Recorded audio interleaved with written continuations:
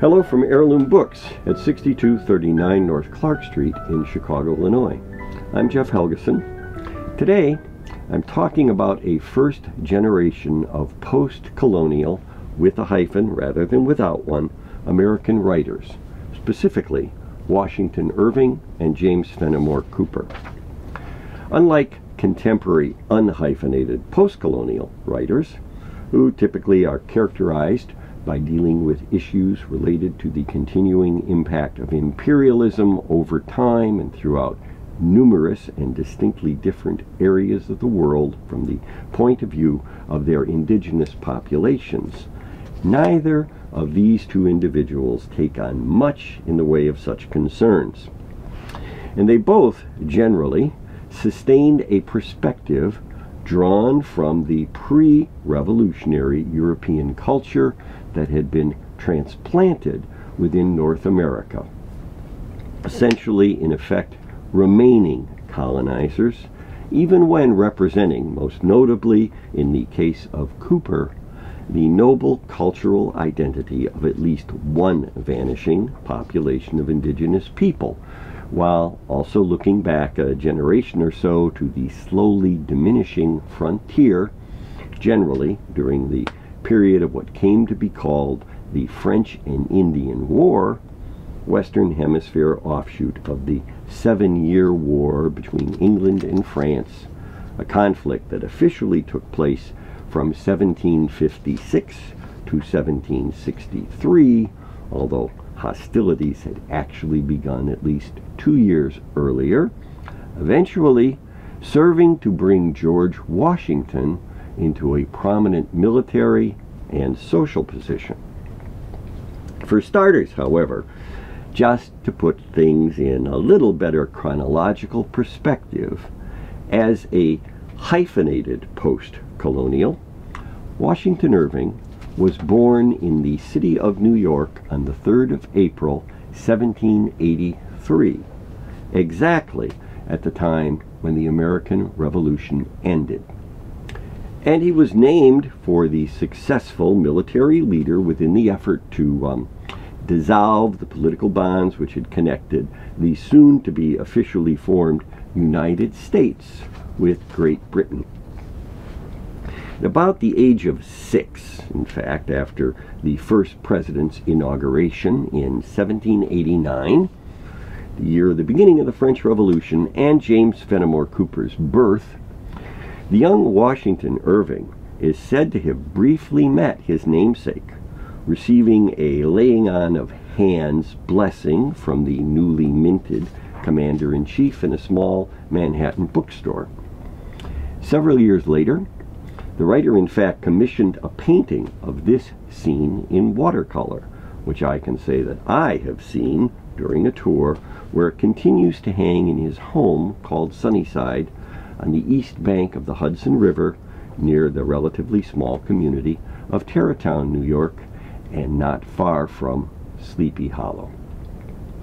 As a teenager, for his safety, young Washington Irving had been uh, sent up the river to this rural region of the state during a yellow fever outbreak in New York City. And it was within the Hudson Valley that in addition to the tome he would eventually build after having become America's first highly successful writer, the author's two most famous stories would be set Rip Van Winkle and The Legend of Sleepy Hollow. At the age of 19, using the name Jonathan Oldstyle, Irving had begun writing essays for a New York publication called the Morning Chronicle co-published by a grandson of the Puritan Sinners in the Hands of an Angry God preacher, Jonathan Edwards, named Aaron Burr, who, due to a close set of electoral results, would become Thomas Jefferson's vice president, having received the second highest number of popular votes in 1800 and then been appointed to the position by the House of Representatives. Burr was also the fool, as Lin Manuel Miranda would have it, in his smash hit hip hop Broadway musical who, during a duel in 1804, shot Alexander Hamilton. Coincidentally, one can only assume, that same year, Washington Irving left the United States and traveled to Europe, but then returned two years later to begin a satirical publication of his own called Salmagundi or the Whimwhams and Opinions of Lancelot Langstaff, Esquire, and others. It was in an edition of this periodical that Irving gave New York City its nickname of Gotham, according to an online article, that being an Anglo Saxon word meaning goat's town. Irving was also to provide the name of the NBA basketball team from New York City, the Knickerbockers. This was achieved through an elaborate publicity scheme, which, truly speaking, makes the false autobiographical efforts of Jonathan Swift, Daniel Defoe, and even the likes of Laurence Sterne pretty much pale by comparison. Apparently, in an effort to generate public interest and awareness of his intended publication,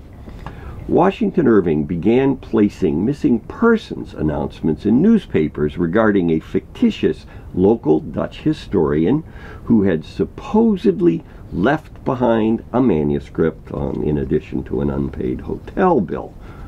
Eventually, allegedly as a way to recoup some of his financial losses, the man's innkeeper released the text under the somewhat notable title of A History of New York from the Beginning of the World to the End of the Dutch Dynasty by Diedrich Knickerbocker. Within the work, Irving describes history as a register of the crimes and miseries that man has inflicted on his fellow man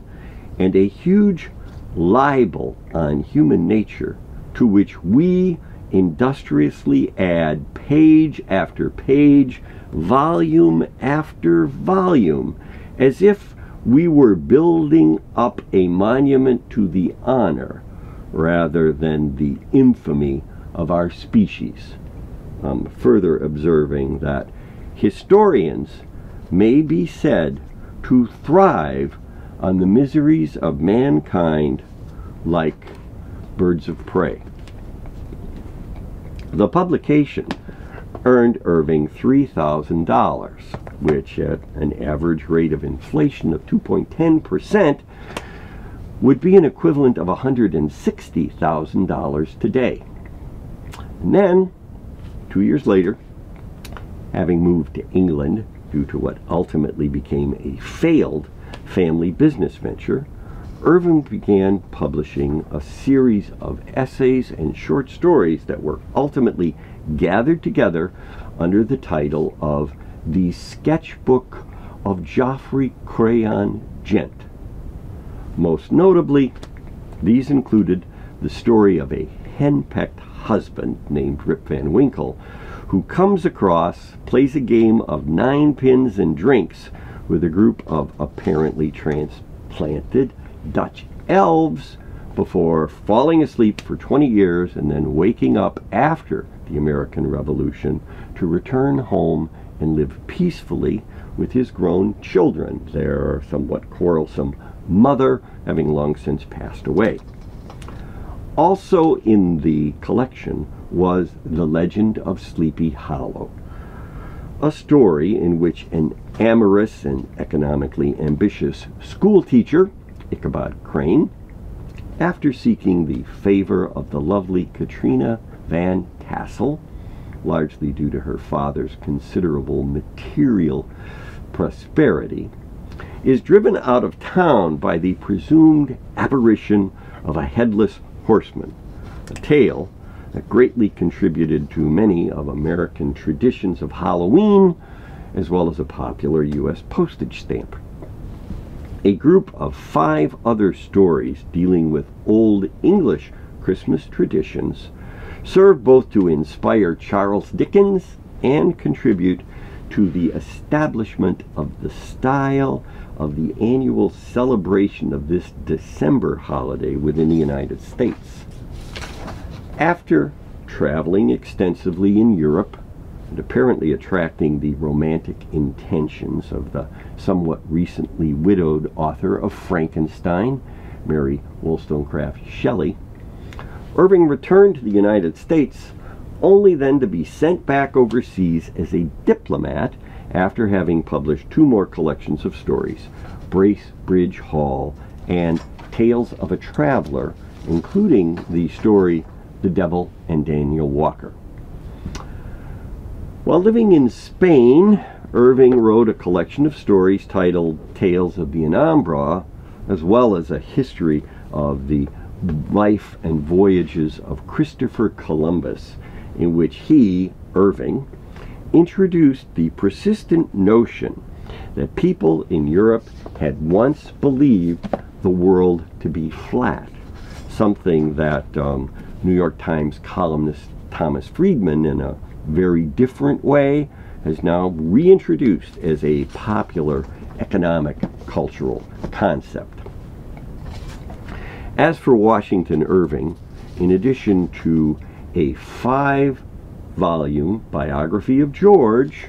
as a post colonial writer, he essentially embraced both the old and new worlds, and as America's first successful author, his advice was actively sought by the country's next generation of writers, which included Nathaniel Hawthorne, Henry Wadsworth Longfellow, and Edgar Allan Poe.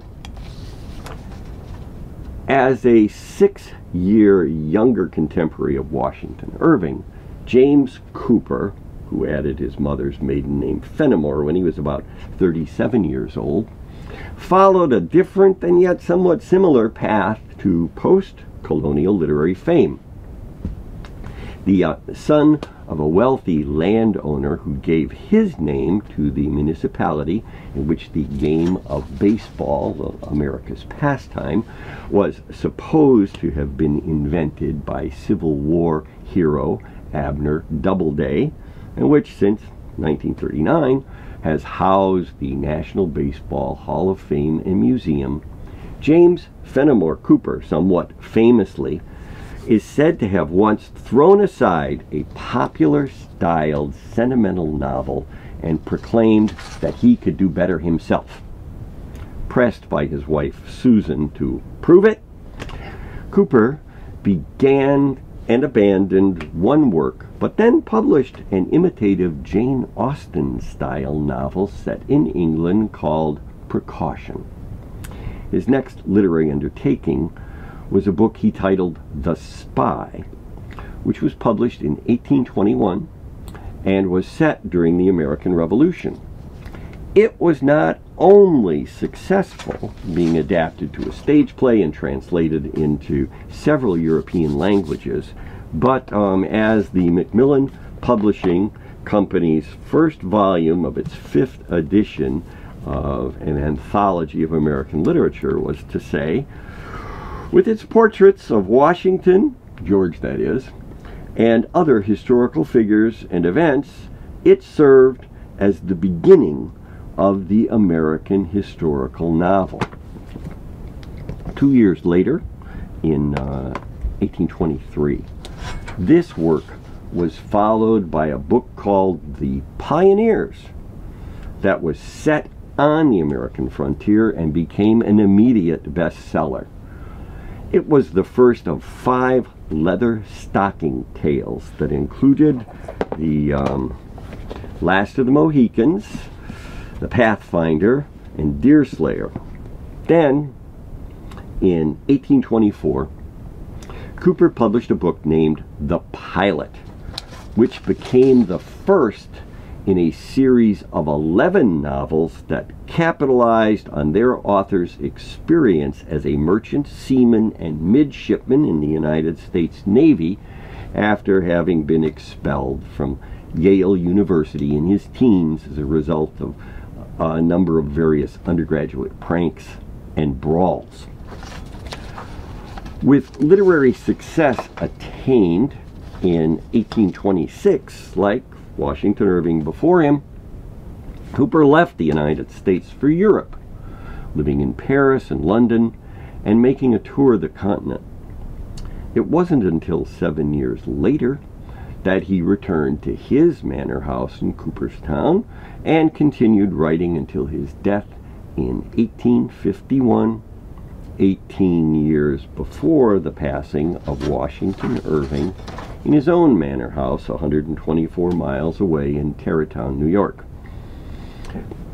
Most noted today in large part due to uh, motion picture and television adaptations, including the 1992 Daniel Day Lewis version of The Last of the Mohicans. In terms of his frontier adventures involving Native Americans, Cooper once is said to have um, confessed, I was never among the Indians. All that I know of them is from reading and from hearing my father speak of them. But with um, regard to various other transgressions, um, Mark Twain once observed that Cooper had scored 114 offenses against literary art out of a possible 115. Also, with respect to Cooper's female characters, the um, poet James Russell Lowell said, the women he draws from one model don't vary, all sappy as maples and flat as a prairie. And yet, without apparently having violated Mark Twain's single remaining literary principle, uh, whatever that may have been, James Fenimore Cooper successfully managed to have published as many as 55 books which collectively it would seem serve to firmly establish the popular American fiction genre of the historical novel, and according to the um, Macmillan Company's anthology, effectively created an archetypal Western hero whose many literary descendants range from the cowboys of movies and popular fiction to the renegade heroes of Melville, Twain, and Faulkner. In terms of both Washington Irving and James Fenimore Cooper,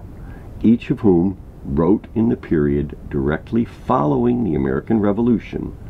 contemporary unhyphenated tendencies of post-colonial literature, such as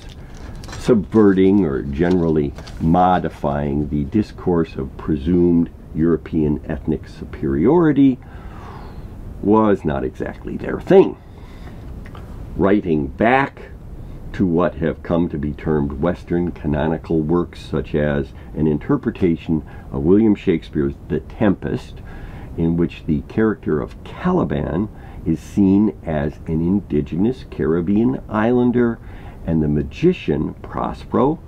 a European imperialist, wasn't really what these two writers were up to. Instead of anti-imperial societal themes, Irving and Cooper, each in their own way, accepted the view of the British and Dutch settlers within the New World and embraced European society and its literary conventions, even while bringing new settings and characters into the mix, sensually serving as anti-disestablishment pre-colonial Eurocentricists. I'm Jeff Helgeson, and Heirloom Books is located at 6239 North Clark Street in Chicago, Illinois.